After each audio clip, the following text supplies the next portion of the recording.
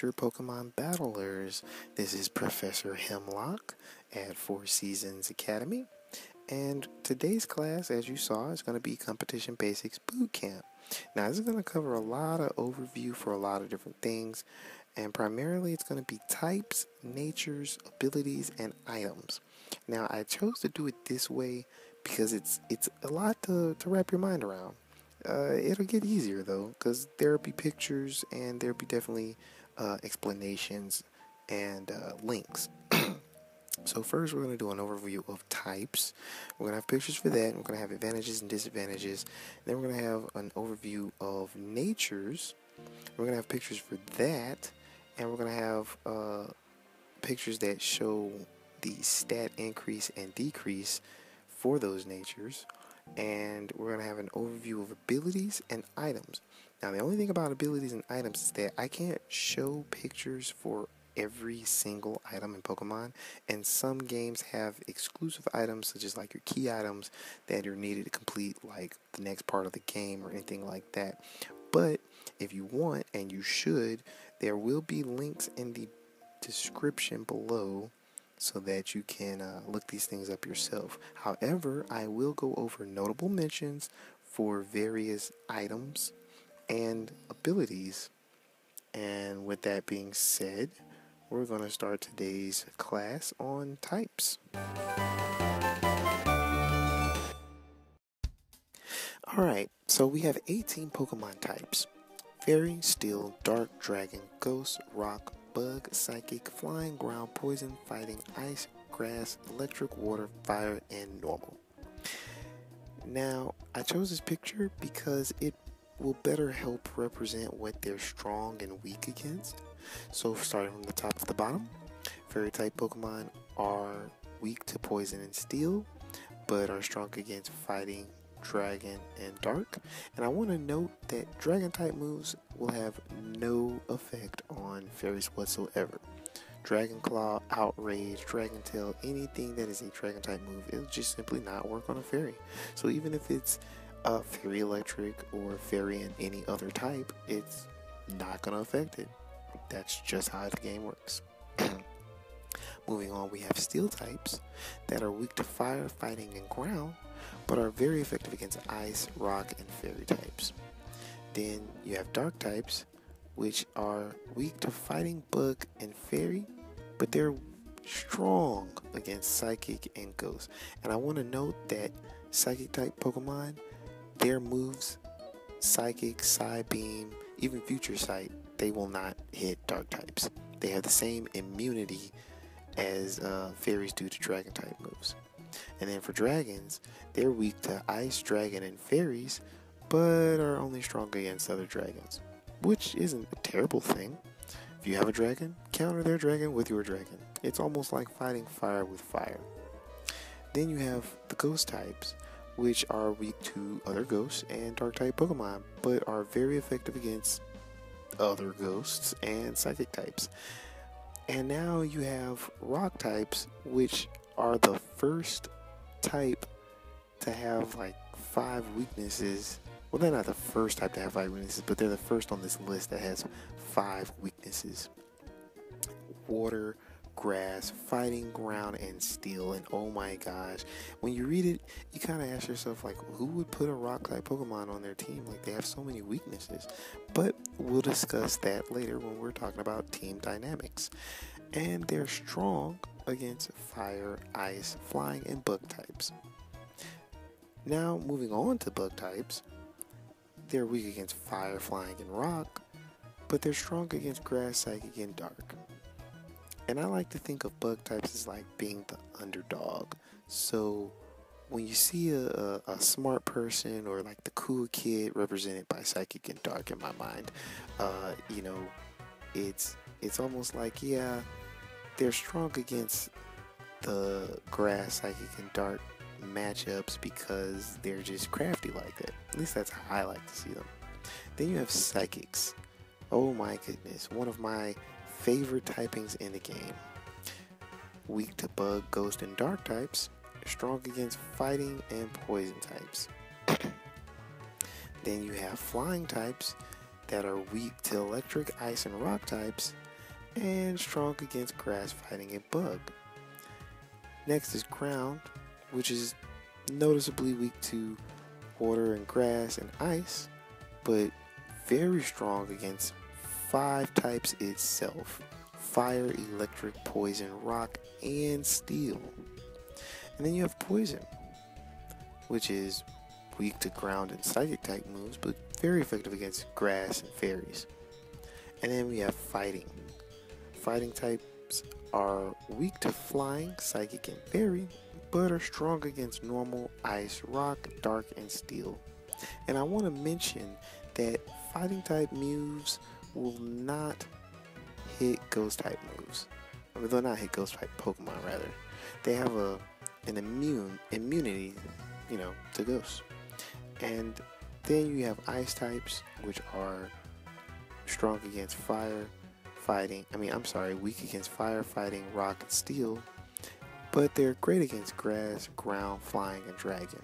This is a really long list, and like the way I'm looking at it, it's a little smaller than I would like for it to be. So I'm trying to like hurry up and you know go through these. and then you have grass types, which are weak against fire, ice, poison, flying, and bug, but are strong against water, ground, and rock. Then you have electrics, which only have a weakness to ground. And it's one of the only two types on this list, as you can see, that has a weakness to, and it has one weakness. And it's strong against water and flying. And then there is water types, the ever calm and beautiful water. Weak against electric and grass, great against fire, ground, and rock. Then you have fire types, which is weak against water, ground, and rock, but great against grass, ice, bug, and steel. And finally, and I still find this to be like very strange to this day, you have normal types. Normal types are a bit of a underdog situation. Yes, they're weak to fighting types as the chart shows, However, there's nothing that they're strong against. But being that they're normal types, they have what I like to call a bit of uh, unpredictability. Because most normal types, as we will discuss in later videos, they have the ability to learn moves of any of these types. There's normal Pokemon that can learn fairy type moves like Dazzling Gleam. They can learn electric type moves like Thunderbolt, ice type moves like Ice Beam, Blizzard, water type moves like surf, like the list goes on and on. And that's what I think makes them dangerous. So, in a sense, I can understand why normal type Pokemon do not have a type that they are inherently strong against. However, I still wish they did have a type that they were strong against. And hopefully, maybe Sun and Moon might display that. But until then, this is how things are as of sixth generation. So normal type moves don't hit ghosts, and ghost type moves don't hit normals. That's need to know information, ladies and gentlemen. Um, it didn't used to always be like that. As I recall, uh, ghost type moves I think could hit normal normal types, but uh, I don't think normals could hit ghosts and then they just made it where normals can hit ghosts. I mean, normals can't hit ghosts, and ghosts can't hit normals. Same thing with fighting, but it makes kind of sense because they're they're strictly physical moves. There's no you know, there's no quote unquote energy behind them. At least that's that's the best way I can think to explain it. Um, but yeah, these are the 18 types. These are the things they're weak and strong to. Take note that grass and rock have the most that they're weak to but also take note that ground fighting have the most that they're strong against. And I find it weird because now that I look at the typings in this manner, I in all my teams I've never really had a, a fighting type Pokemon on my team. And I don't know why. Now I'm very interested in making a team with a fighting type Pokemon on it. So, yeah. And with that, we're going to conclude the typing overview. And I want to continue by saying that types are, are important because of something called stab. And stab just means same type attack boost. Every Pokemon gets it. And for example, if a water type Pokemon uses uh, a water move, then its damage is boosted an extra 50%. So let's say you have a Blastoise and it uses Hydro Pump. Hydro Pump is one of the strongest water type moves uh, that you could use as a water type Pokemon. Uh, it has 120 base power and gets 60 added for 180 damage. Also, if the Pokemon has two types, for example, Houndoom is both fire and dark. That means that both fire and dark moves receive stab. So, Flamethrower does uh, about 142.5 instead of its base of 95, and Crunch does 120 instead of its base of 80. Now, uh, the great thing about this is the fact that you have Pokemon who have multiple types. So basically, any move that they use that is of that type is going to get a multiplier of about 1.5 times its base, and that's how you're going to indicate how much a move does with stab. And with that, that'll conclude the section on types and stab. Now there will be links in this in the description below that'll take you to various pictures and uh, websites that'll show you how you know the the type chart. I really want to avoid using the type chart because when you look at it, it can be very confusing. But I find this picture to be the best illustrator for types and advantages.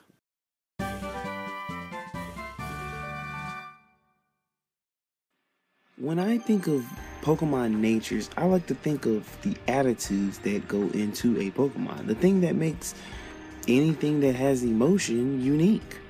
So I'm going to list natures that have no effect whatsoever on those attitudes of those Pokemon. They don't increase any stats, they don't decrease any stats. You have hardy, docile, serious, bashful, and quirky. Every time I see those on a Pokemon, I just think, gosh, those are just the absolute worst. Like, why couldn't it have been something so much better? Now, I'm going to list stats that increase attack, and I'm also going to list what they decrease. So, starting with stats that increase the attack, we have lonely, brave, adamant, and naughty, but they decrease defense, speed, special attack, special defense, respectively. Then you have the stats that increase uh, defense, which would be bold, relaxed, impish, and lax. And of course, they reduce your attack, speed, special attack, and special defense. Now, you know, these things come into play when you're breeding mostly because they kind of give you that extra push. We'll get into EVs and IVs in a later class, but for right now, think of this as like your stepping stone for uh, making that best possible Pokemon six times because you will have to do this six times for every Pokemon, depending on how you want to use your team and depending on what exactly you want them to specialize in. So, moving on, we have timid, hasty, jolly, and naive that raise the speed stat, but timid lowers your attack, hasty lowers your defense, Jolly lowers your special attack, and Naive lowers your special defense. And for this bracket or for these uh, natures, they kind of, kind of, they kind of really make sense. Like if I'm timid, I'm not really to be aggressive, so I'm not to attack. If I'm hasty, I leave myself wide open. If I'm jolly, I don't really, you know, give it my all. Like I'm, I'm not really very specially attacking or anything like that. And to be honest, if you're naive, then you can't really defend against anybody who's plotting against you. Again, these are just small examples that I use to try to convey my point. You can always find your own, or you can also understand them perfectly fine, and you may not need me to give you my own explanations. Now, my favorite natures are the natures that increase special attack, most notably modest, because it raises special attack and lowers attack then you have mild, which lowers defense, Quiet, which lowers special defense, and Rash, which lowers special defense again.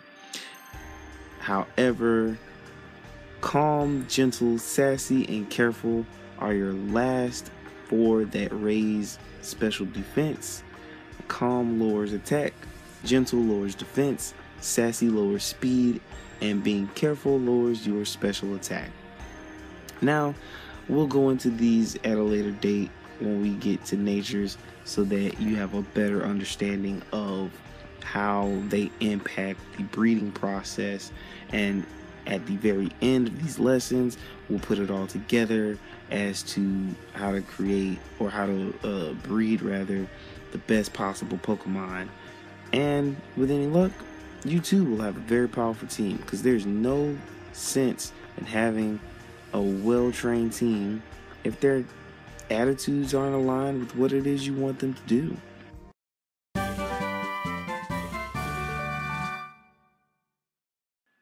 So let's talk about Pokemon abilities. The things that make them special, you know? Kind of like how humans can be special at playing basketball, video games, or writing, even music. Now, Pokemon, on the other hand, they can at most have three abilities two that are normal, and one that is hidden and can only be acquired through special means or breeding. Hidden abilities came into play during Generation 5. However, that's neither here nor there. What I want to do is simply give you a list of the most notable abilities that you may encounter in a Pokemon battle. So let's start with Effect Spore. Effect Spore says contact may paralyze, poison, or cause sleep. So the way Effect Spore works is just how it sounds contact. So you have moves that are physical and moves that are special. Uh, most moves that have like I guess an attack behind them will be your physical moves, and most moves that are special are in my case what I would define as energy based. So a move like Psybeam, special attack. A move like Karate Chop, physical attack.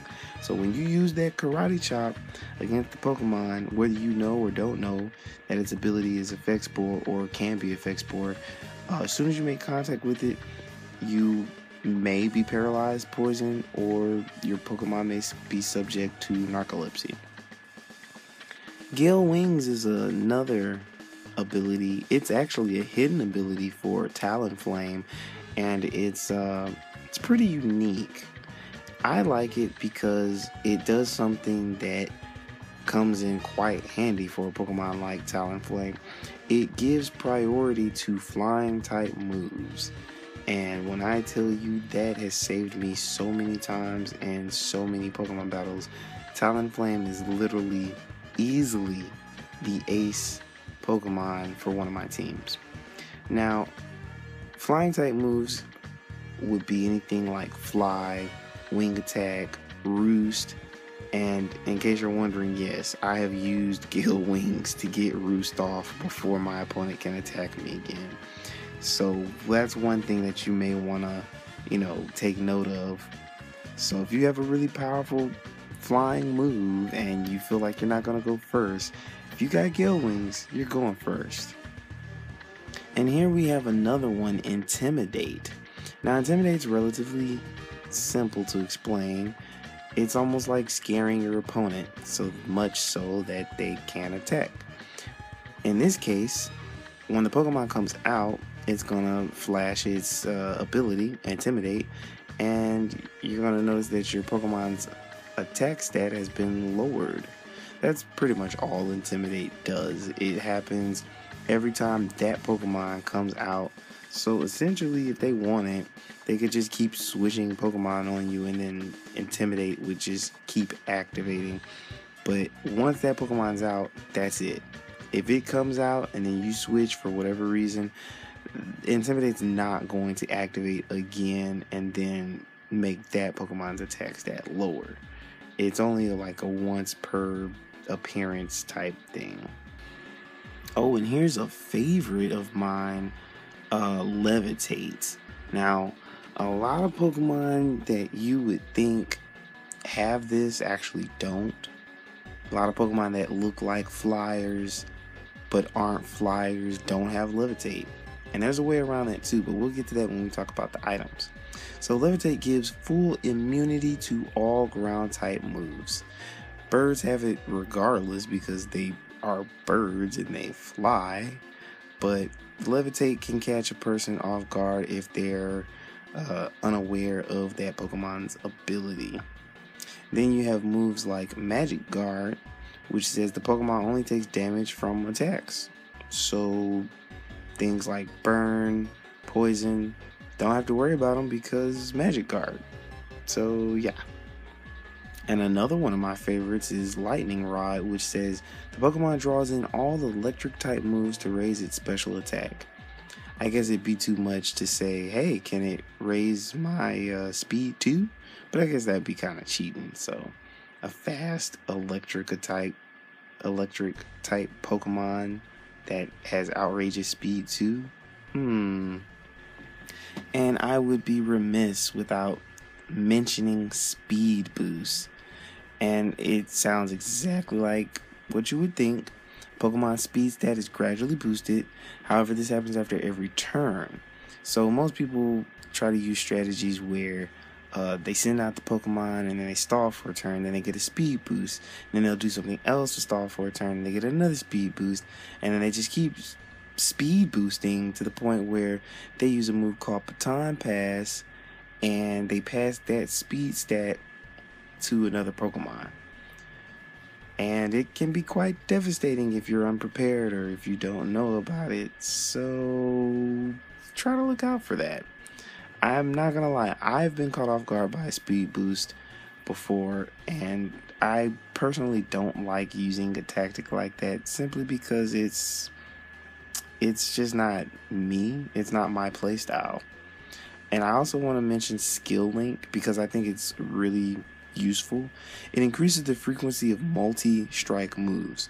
And if you don't know, multi strike moves are moves like Fury Swipe rollout and um, icicle icicle i think it's icicle crash and those moves have a chance of hitting between one and five times but with skill link they hit all five times regardless of anything and that is just so wonderful especially if you just need that last little nick of damage or if you're super effective but you're like oh my goodness i don't know if it's gonna hit enough times for me to like uh, you know kill it or if I'm gonna win based off of this. Like I have to get lucky, but no. Skill link hitting five times every time. As a final note, I just want to say that abilities can turn the tide of oh. battle more so than you think.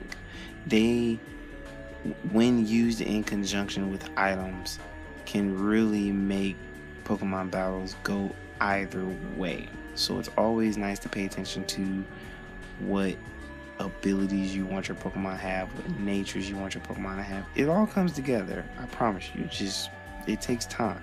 It takes time, research, and a lot of patience. Nothing happens overnight. Moving on.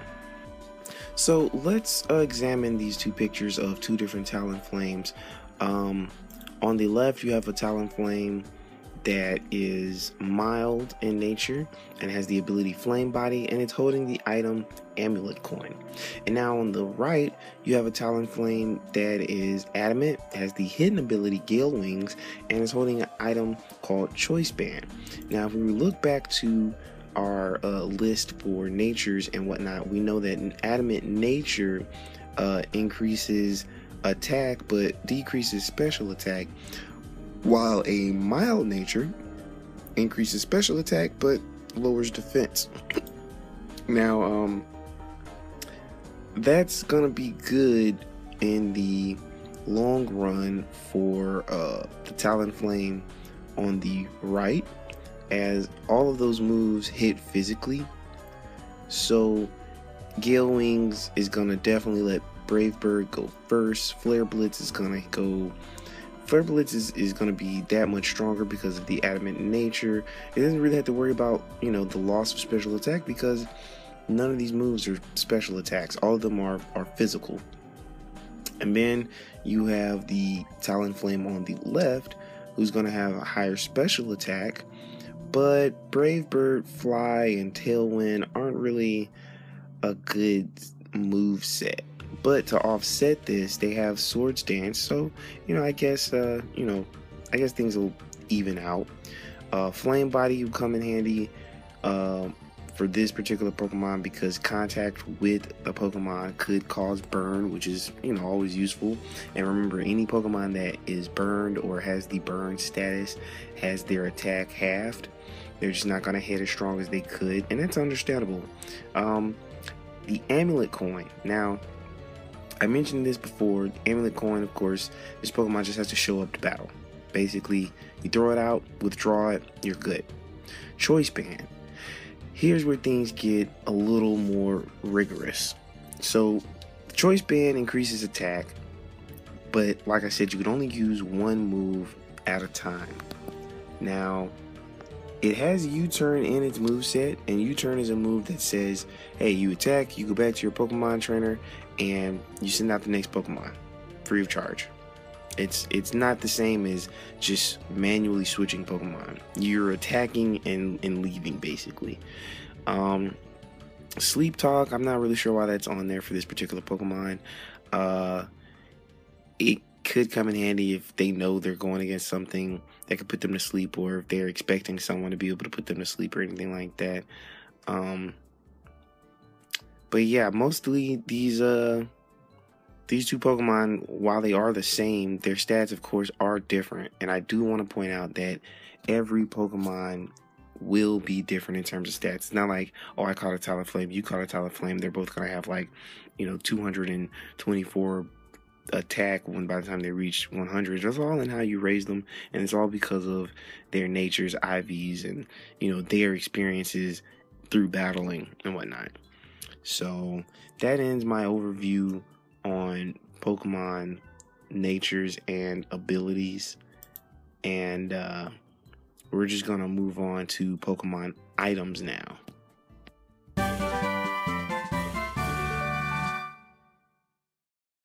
Okay, now everybody has that one special item that, like, totally does not leave their hand or their person at any time. Now, for Pokemon, it can be a consumable item or it can be just something that they hold and in battle it just makes them stronger. Whatever it is, it's a wonderful thing to have an item for Pokemon.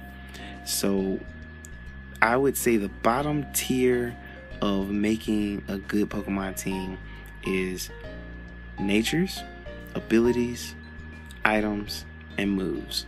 But moves are kind of mid to second tier. So, what I'm going to do is I'm just going to mention a couple of noteworthy items and exactly how they work. So, you have my favorite, the air balloon, and it says when held by a Pokemon, the Pokemon will float into the air. When the holder is attacked, this item will burst. So, basically, you get levitate for free. Any Pokemon, every Pokemon that's holding air balloon, levitate for free. If you hurt on cash, amulet coin.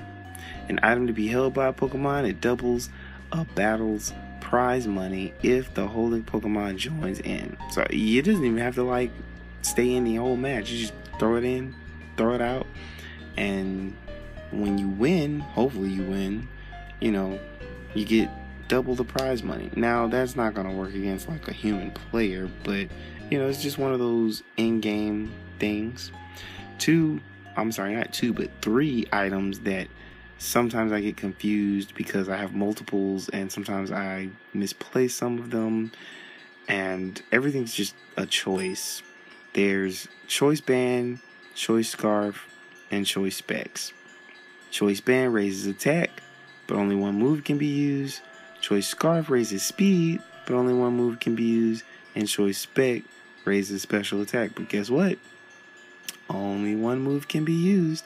The only way that you get around this is if you switch out, and nine times out of ten, you kind of just gotta be committed because switching out just so you can use a different move will actually hurt you in the long run. So it's something that you really have to think about. Now, if you have a type of Pokemon that you really like it and you don't want it to evolve, or if you're knowledgeable and you're saying, okay, so this Pokemon's gonna learn this move at level 32, but at level 26 it evolves, so I don't want to keep pressing like the B button to keep it from evolving. There is an item called an Everstone, and when this Pokemon is holding this item, it prevents it from evolving. At first, I thought it was the stupidest thing ever because I couldn't understand why you would want to do that. And then I remember playing Pokemon Yellow and having like a Charmander and like Charmander learns flamethrower like level 38 and I was like, "Oh man, I could totally use that flamethrower like early on in the game." The problem was it uh evolves into Charmeleon at I think like 15 or 16. It evolves into Charizard at like 36.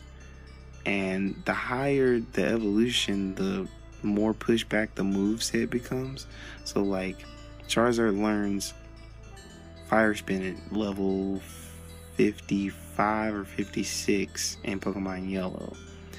If I were to keep it from evolving, Charmander could learn Fire Spin at level 42. So that's like a huge, huge gap. That's a big distance. Moving on to more of the items and note, uh, honorable mentions. You have Focus Band and Focus Sash. They kind of work the same, but one is more effective than the other. Focus Band says that the holder may endure a potential KO attack, leaving it with just 1 HP. It's not a guaranteed, but you know, it's something. Focus Sash, on the other hand, says if it has full HP, the holder will endure one potential KO attack, leaving it with one HP. Now, I prefer Focus Sash over Focus Band simply because nine times out of ten, if you're really unlucky, that Pokemon's probably gonna get smacked to hell. Focus Band, I I feel lucky, but I don't feel that lucky. Like I'm not dirty Harry lucky. I just I don't know. It's it's it's a complicated type of luck that I have when it comes to certain things. Then you have other moves. I mean, not other moves, other items that are like plates, and basically when you hold them, they increase the power of uh, that type of move. And those plates are more so meant for like a certain legendary Pokemon. You have berries that they can hold. Some berries, such as the Sitrus Berry, uh, restore like 10% HP. And as we all remember, HP is uh, short for hit points. And then uh, you have another favorite item called Life Orb. So remember when I was talking about the choice items and how they increase uh, attack, special attack, and speed, but you can only use like one move? Well, Life Orb it increases the power of moves, so that you can use mold, you can use all your moves, all four of your Pokemon moves, but you lose HP each turn. Now, it says each turn, but I think it's each time you, I guess, uh, use a move that makes contact. I've never, I've never not used the move. I've never like not made contact with a Pokemon move and it still take my HP. So that's one thing I probably have to look into. Now, uh, as far as being on your own out in the Pokemon world, like not playing another human player, and you're just trying to like raise your Pokemon, a really good item to look out for is the Lucky Egg. Uh, it earns extra experience points in battle, and that I promise you, will be like the keys to the kingdom when it comes to uh, training your Pokemon. Lucky Egg, and especially if you can get more than one. Also, look out for nuggets. They uh, they can be sold for I think five thousand dollars of Poke dollars, five thousand Poke dollars. But yeah, those are just some of the uh, notable Pokemon items in the world. Not all of them can be held, not all of them, you know, can be consumed, but they are they serve they serve a purpose. I, I will say that about items in this game. Everything serves a purpose. It's not like they give it to you and you don't use it ever, or you don't know why you have it. It's it's there for a purpose. Now I'm gonna put in the uh, description below links to where you can read up more on types, natures, abilities, and items. And you know, you can just read through them all on your own time. And uh, the next video will cover TMs and HMs. And I have to really take some time to um, to look through that. And that will actually be my last video before Pokemon Sun and Moon comes out.